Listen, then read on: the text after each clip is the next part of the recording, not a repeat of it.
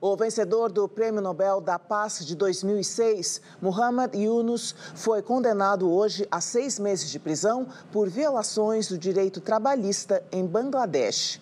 Yunus e mais três parceiros de negócio da Grameen Telecom foram considerados culpados por não criarem um fundo de assistência para os funcionários da empresa.